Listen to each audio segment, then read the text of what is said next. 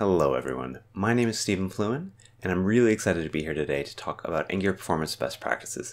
This is a topic that I spend a lot of time working with teams on, and it's one of the top things that we hear are concerning developers as they continue to build out Angular applications. And so the goal today is really to help you understand how to think about performance and how we think about performance, and give you some concrete tools that will help you manage and make your application faster. So before I get too into things, I want to introduce myself. So as I said, I'm Stephen Fluin, and I am a DevRel lead on the Angular team at Google. Now I have one of the coolest jobs in the world because I get to spend all of my time talking to developers, building cool apps, solving problems. Um, but there's really two parts to my mission. The first part is to help developers and organizations be successful with Angular. And the second part is to understand what it's like being a developer who uses Angular uh, and listening to the community so that we can reflect those needs onto the Angular team. And so this is why I have so much love and passion for this community because we have so many amazing people in it, uh, and I get to help listen and be a part of their journey with Angular as well. Um, I really think it's helpful to understand Angular by looking at some of the things that the Angular team values. And so we generally talk about three different values. The first is apps that users love to use. No matter who you are out there, you are building an application for a user. I don't care if you're building some backend RPC that is doing some ETL data loading. You are ultimately doing that to serve a user in some way. And it's really important to acknowledge who those users are and what they're trying to get out of the systems that we're building. I also think uh, the Angular team values apps that developers love to build. Angular is successful because we spend a lot of time thinking about developer experience and we try and have empathy for what it's like being a developer in the world. If you flash all the way back to 2009, around the first time that AngularJS was being created, the question in the team's mind was about this idea of if we could build an API, if we could build applications the way that felt naturally and made sense to us, what would that actually feel like if we could ignore the browser for a second and just be declarative about the things we want to be rendered and how we want them to be rendered? What would that look and feel like? And we carry that through today where we think a lot about what does it feel like to be an Angular developer? Where can we be opinionated? Where should we be more flexible? And how do we continue to push this experience forward so that we continue to grow with the ecosystem? The last value we like to talk about is a community where everyone feels welcome. And this is really critical to us because there are thousands of teams out there. There are thousands of libraries, authors, developers, tooling, pre- uh, creators, or vendors that are all out there building with Angular, building on top of Angular. And we want a community where everyone feels welcome, where anyone can feel like they can walk in and receive value and contribute back to that ecosystem. We spend a lot of time trying to support that in terms of presenting at meetups like this, in terms of listening and trying to be a part of the community. So we, we are always trying to do better and we are always trying to listen. So please keep feedback coming. We really appreciate it. So this talk is all about performance and I, I always like to talk about why performance matters because I think it really sets up the concept of performance really, really well. So performance matters going back to that first point when we talked about user values, where apps that users love to use. If you are not building a performant application, your users are going to be frustrated, right? We, we talk a lot about things like mobile experiences. Mobile experiences for most users in most applications end up being the primary use case. The, the number in the US is something like above 70% of web usage is actually coming from mobile devices. And in places like China, that number can be over 90%. And so when you are thinking about building an application, thinking about the context that your user brings with them is going to make your application more successful. And so you have to really think about performance. Now, in Angular, uh, there's a couple types of performance we can think about. There's build performance, there is uh, startup performance, there's runtime performance generally what we see is that when we think about users, runtime performance in Angular is very, very good. It is pretty easy to create fast, responsive applications where you're preloading data and you're giving users instantaneous experiences. But startup experience is actually something that's a little bit harder. You can't just throw more JavaScript at that problem because when we look at the performance of web applications, bundle size is the number one factor when it comes to startup time and bootstrapping time. And so there's a couple really interesting metrics to look at when it comes to understanding performance in web applications. And so there's actually a group within Chrome that have come up with this concept of web vitals. And so these are three metrics that I think are the most meaningful in terms of representing a user's actual experience with your application. So the first one is what we call largest contentful paint. Largest contentful paint is if you think about all the times that the uh, JavaScript or HTML is rendering and painting to the browser, what is the largest paint? Because that largest paint is probably going to be the one that has the most meaningful content for your users. And so understanding how long it takes to get to that largest contentful paint is a really strong signal about when the user is actually getting the most meaningful content of the application. The second is something called cumulative layout shift. And so, uh, if you remember metrics like page speed, this is a little bit like that, but looking at the amount of layout shift that has to happen in order to render a page. Uh, in general, you want to minimize this, right? If we have applications that render one way and then they change and they render another way and then they change and they render another way. Maybe that's because of images are loading and pushing down the page. Maybe that's HTTP requests going and fetching data and displaying it to the screen. All of these things can be disruptive to the user experience. So minimizing this layout shift is one of the goals, one of the ways to measure user experience.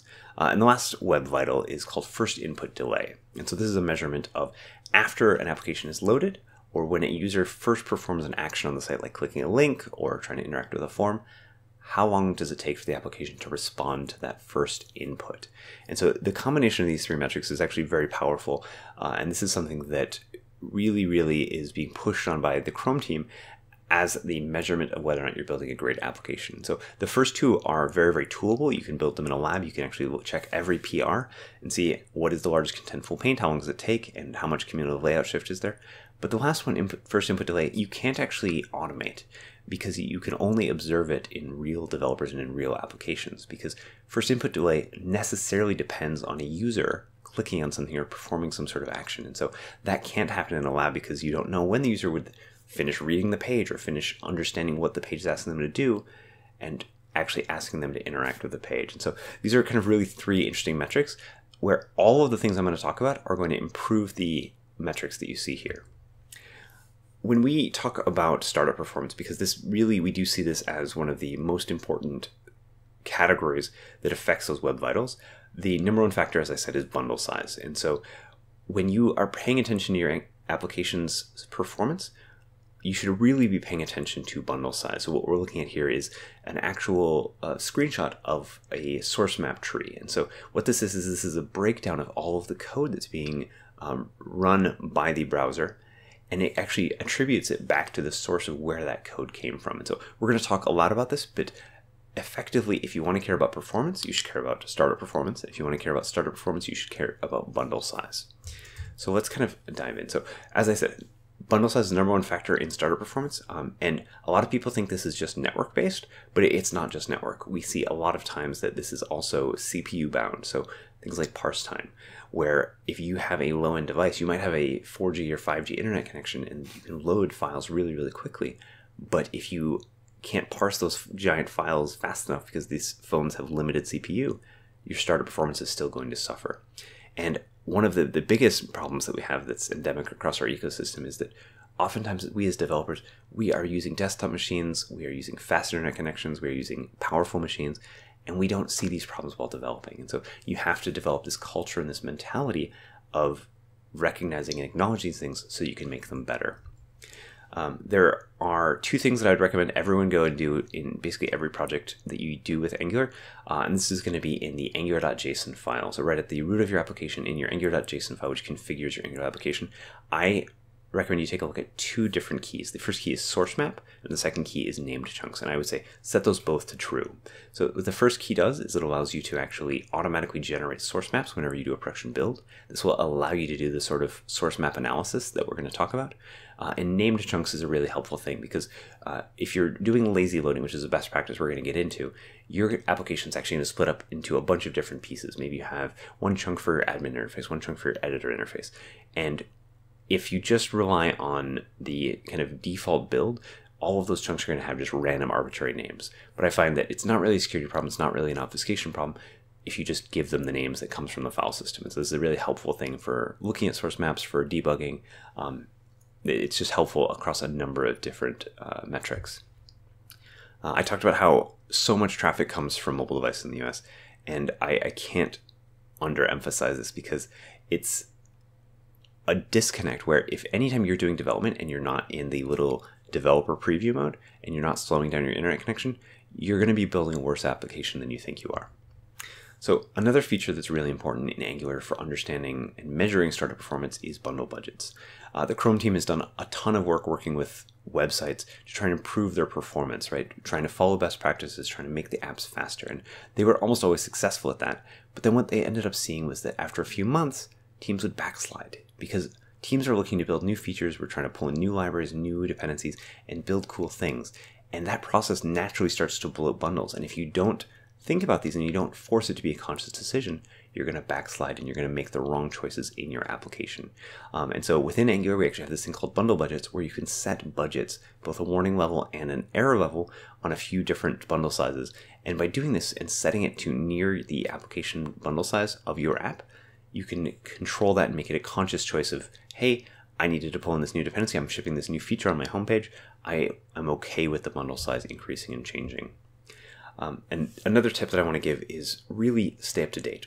One of the things that the Angular team does is because we have this really opinionated stack about how we build, about how we code split, all those sorts of things, we can do things under the hood that make your bundles smaller over time. We did this in version 4, we did this in version 5, 6, 7, and so every time you stay up to date with the latest version of Angular, you're going to notice improvements to things like your bundle size, without changing any of your code, right? We're going to make these changes and improvements to Angular and the build system configuration. They're going to make your apps better. And so if you're not on the latest version, you do not have all the benefits of the work that the Angular team is working so hard to give you when it comes to things like startup performance.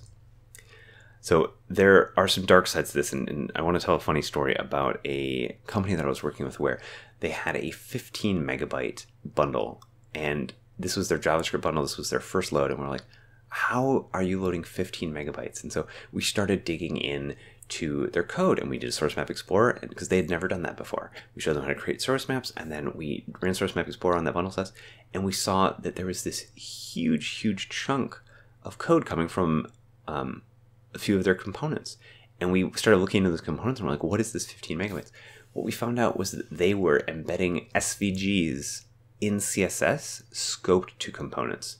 Now, you may not know this, but when you scope CSS to a component, we actually then apply that CSS as JavaScript, right? We in the JavaScript layer are applying those uh, styles to individual elements so that we can do things and we're attaching that, that style sheet so that we can scope it so we can isolate that component from the rest of the DOM.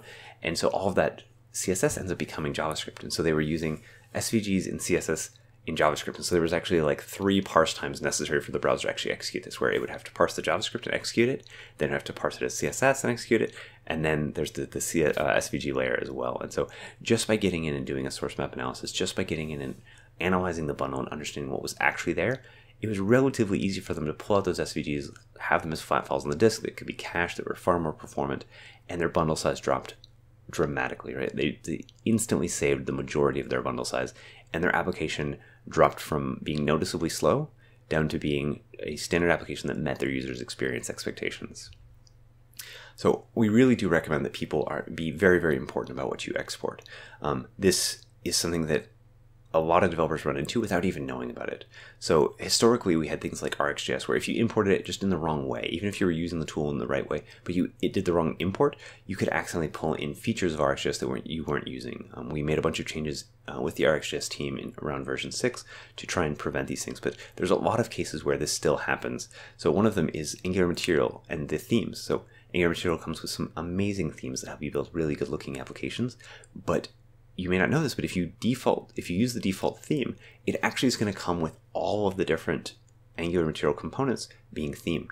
And if you're only using one or two of those components, you probably don't need the themes for all the other components that you're not using. So um, think about the themes that you're using, think about, hey, do we need to roll our own custom version of this? We have some documentation on this on the Angular Material website. Um, we also see this happens a lot with third-party SDKs. So let's say you're, you're pulling in Lodash, or Moment is one that I, I, see a lot, where people will pull in Moment one or two times in their application, and they'll end up with six or seven copies of the locales. And so just be careful in the way that you're importing, and make sure that the value you're getting from these libraries and from these dependencies is correspondent with the bundle size and the startup time and the performance cost that you're making your users pay. Uh, the final case that I, I want to do a little bit of shaming on is that we see a lot of marketing JavaScript where uh, maybe people are trying to track their users, they're trying to um, have all these A/B analyses, they're trying to do like I don't know Hotjar, like seeing where my user clicked, see where they scrolled. All of those things are really valuable, but they can hurt the user experience. I've seen a live support pop up that was trying to help people find what they need, but that live support pop up was like three megabytes, and so it was just blowing their their bundle size and their mobile experience out of the water. So what I want to do right now is I want to actually dive in and do a bundle size demo where we're going to take an application that I've got here. We're going to uh, add some things in the Angular JSON, just like we talked about. We're going to generate a source map, and then we're going to take a look at it, and then we're going to improve the budget based on what we're seeing. So let's dive over to the console here. Um, what I've done is I've just created a brand new Angular scaffolded CLI created project. So this should look super familiar to everyone. So you can see source, we've got app modules, app components, and just like we talked about, we're going to jump directly into the Angular JSON file, and I'm going to search for source map, and I'm going to say that this is true, and I'm going to say that named chunks is true. So we'll just modify both of these to true. And now when I go back here and I run an ng build dash dash prod, what's going to happen is those keys are going to affect the build of my application and we should get both source maps out instead of just getting out this uh, minified JavaScript. And then we'll also get named chunks. We don't have any lazy loaded chunks, so we won't be taking advantage of that quite yet. Um, but what this will do is it will set me up for doing the types of analysis that I want to do. Um, one of the questions we get about source maps is whether it's okay to do source maps in production bundles. And I would say yes. Um, if you are super worried about obfuscating your code, then you can consider not doing this, um, or you can just remove them after you ship to production. But in general, I don't think most JavaScript developers are relying on the security of their JavaScript. Um, and the browser does not load the source maps unless the um, user is trying to access the source code. And so this, this isn't really a major problem, uh, but it is a huge benefit because if developers are looking at source maps, they're going to make their application better. All right, so we've run our ng build dash dash prod here. And if we go into our dist folder, what we should see is we now have these uh, JavaScript files from our application, and we should also see these map files. And so uh, we recommend a tool for bundle size analysis called Source Map Explorer. Uh, there's a bunch of others out there like Webpack Bundle Analyzer. One of the things we've seen is that tools like Webpack Bundle Analyzer Webpack Bundle Analyzer can actually miscategorize and misattribute some of the source code because it's applied at an earlier stage before some of the optimizations happen. Uh, whereas Source Map Explorer is going to correctly attribute most of your JavaScript. So what I'm going to do is I'm going to say uh, yarn add source map explorer. So we'll just add it into our package here as a dependency. And then I'm going to run source map explorer and hand it the JavaScript file I want to analyze. So let's say we want to run source map explorer and we're going to run it on our main JS file. So what that should do is that should open a browser and directly pop me into the uh, browser here where we have the complete bundle size of that file and it's attributed down to here's the part of Angular core Here's, for example, my application is using the router, and so that pulls in an extra 62 kilobytes of JavaScript. Uh, we've got some kind of uh, basic operators that Angular is using and relying on, and then we can see things like my source code. So here's the actual source code for my app component. Uh, here's the source code for my HTML. And if you pull in a library, all of that code will show up. If you're pulling a material, that will show up. So this is a really, really healthy way to understand, hey, I don't actually need the router. I don't actually need forms, for example, on my homepage. Let's make sure that we are not pulling that code into our bundle size. And so we can see that our application is about 216. So let's actually say, hey, we want to lock this down and say this is uh, big enough for us. And let's actually start warning. And so here's, for example, the default budgets that we give you. Uh, we warn at 2 megabytes, but what we could do is we could change that to something like 200 KB. And then maybe we'll error if we ever get above uh, 700 KB. So again, set these values as conservatively as possible. You can always change them later, you can always increase them, but if developers don't know what they're doing to the bundle size, they're going to make bad decisions. And so uh, in the background here, we will uh, run another build. And what we should see is when that build completes, these bundle sizes are, are going to be applied. So there's actually a few. So you can see we've got an initial bundle size, so that's um, what code is necessary to run the application startup. And then we've got any component style. So this is trying to make sure that you don't accidentally uh, include a ton of styles into a single component. One of the, the places that we end up seeing that is if you use a CSS um, framework where you accidentally import the CSS framework into every component, and then we have a full copy of the CSS framework duplicated for every single component. So that, that's an anti-pattern, and this will help prevent that for you. All right, so we can see uh, we've done our build here. Warning in budgets. Exceed maximum budget for initial. So we've got a warning here, which is exactly what we wanted to see. So uh, we've built an application, we've uh, set some configurations so we can actually understand what's going on, and then we've set a budget so that we can prevent ourselves from making mistakes. So I'm going to jump back to the presentation here, and we will proceed. Um, one of the things that you need to do to build great performance is really think about architecting for scale. Um, and the key technology here is lazy loading. And in Angular, how this works is that your module layout is generally going to determine your lazy chunks because lazy loading within Angular is really based on the router. And so what you should be seeing when you do a build, a production build, or a dev build is you should see a bunch of different chunks because whenever a user has a individual context where they don't need all the features of the other context, you should have a chunk for that. And so this is an example application I have where there's something like 14 chunks. Some of these are just polyfills and styles, but a lot of these are based on the features that a user is actually relying on for a given experience, for a given URL. Um, within Angular, it's really, really easy to use lazy loading. So there's a couple ways. So this is how you do it manually in the router. So if you say router module for root, instead of passing in a component, you can pass in load children. And what load children does is it uses dynamic imports that are a web native kind of capability now. It's supported by Webpack. Uh, and it will dynamically and lazily import that. And Webpack knows how to set, cut that code out and pull it into a different chunk as well as all of its dependencies. And then once we've resolved that component and we've resolved that module, we're going to pass that back to the router. And then the router is going to intelligently load that. So this is the key piece here where you load children and then you pass in that dynamic import. Um, there's a lot of different thoughts and mentalities around lazy loading. Um, and so first place I always go is lazy load your admin routes. Admin routes tend to have a lot of features that developers don't need on their homepage, right? Um, there are things like editor interfaces. So if you ever have to collect forms, you have to fill out a wizard. Think about lazy loading those because again, you don't need those on your homepage. Uh, but you can even lazy load your homepage. Uh, this sounds a little bit weird because it's still in the critical path, but by pulling it back into another chunk, you're actually yielding back to the browser an extra time, which can make the application feel more responsive and it can give the, the browser an, a chance to intelligently optimize things. So even lazy load your initial route of your application. And at this point, you should really be thinking about lazy loading everything. Right? You do not have to load any modules of your application except the application module synchronously, right? Everything else can be lazy loaded, and then you can pull in all the dependencies at the right time. There's also a really easy way to do this with the CLI. Uh, so if you use the ng generate command, you can say generate me a new module, and you refer to the app module or whatever module is going to be linking into this. Uh, and then you can actually give it a route parameter and give that route a name and then give it a name. And what will happen is it will create that module. So that first command here will create an about module, but it'll also create an about component, configure the router for receiving uh, routing lazily, and it will configure the application module to lazy load that module when the user visits that route. And so this is a really, really powerful command that I definitely recommend you do a lot. So generate module, point to the module, point to the route, and then create it, and everything will kind of be done for you. It'll be set up for lazy loading, and that's a really, really fast way to move quickly uh, to scaffolding out a lazy loaded application. Um, there's another concept that you can be thinking about, which is that you should be minimizing the amount of code run, um, because what often happens, and some of this isn't fixable, but some of it is, which is we will ship down let's let's look at this example 700 kilobytes of javascript to the browser. But in terms of actually using the application i'm only ever using 45% of that.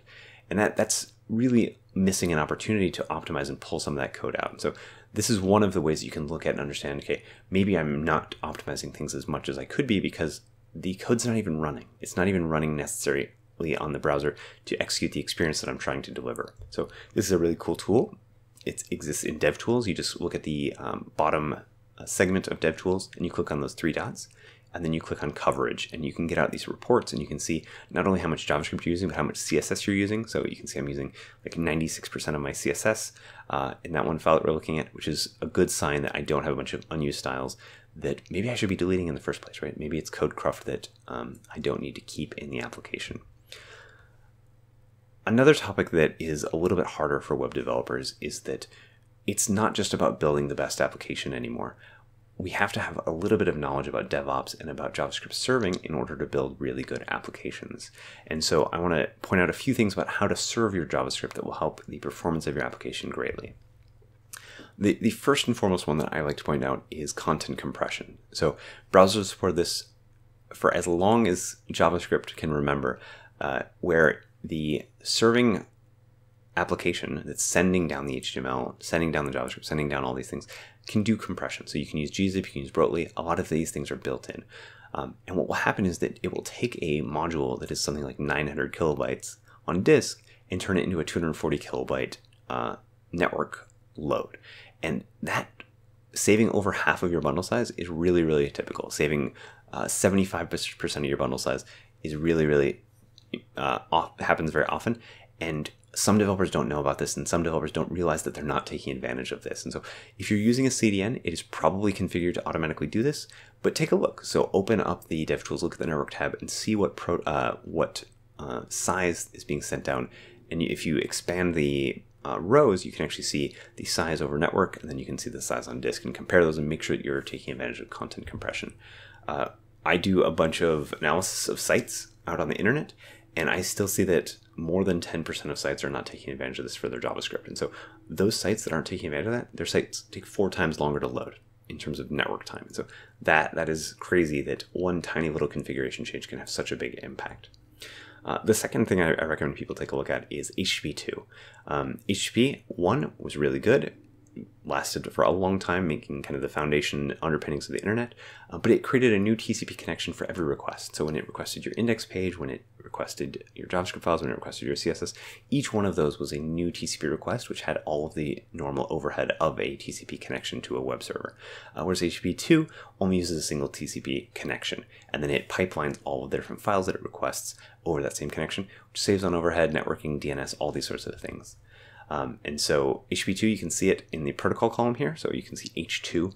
Um, there's more kind of newer protocols that are coming out. And so definitely keep your eyes open for those because anytime you can just rely on the uh, transport layer to make things better for your application, make things better for your user, we should definitely be doing that.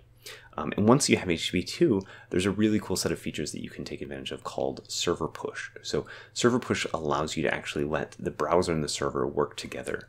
Um, so uh, it's important to understand a couple concepts here. So throughput is how much you can send in a given time frame. So like, let's say you had um, an hour, how much of uh, bundle could you push down? Maybe you could push down 100 gigabytes. Um, and then there's concept of latency, which is that 100 gigabytes, maybe I can transfer it in a second, but if it takes a minute or if it takes 10 seconds to generate before that transfer can even start, that, that's going to be a problem. And so uh, without server push, we load the index.html, we parse that index.html, we then start loading the main.js because we see that it's required reference from the next HTML. And then that main.js, maybe that's referring to another dependency or another chunk. And what ends up happening is there's extra round trips here. So if you have a high latency internet connection, doesn't matter how fast it is, you now multiply that latency and that round trip time per um, little group here in the vertical columns. And so with server push, that actually can all be eliminated because what happens is you can configure your server so that when a user requests the index.html file, you know exactly what files they're going to need next, right? You wrote the index.html file, you know they're going to load your JavaScript and your CSS and all those sorts of things. And so you can say, whenever your re- user requests index.html, start pushing down all these other files. And so you can eliminate those round trips completely. Uh, and if you're using something like Firebase, this can be pretty easy to set up. You can just set up some headers in your hosting configuration and say, when someone requests uh, index.html, load main.js, load uh, that is a script, load all these other JavaScript. And so this is, can be a really, really helpful thing to do.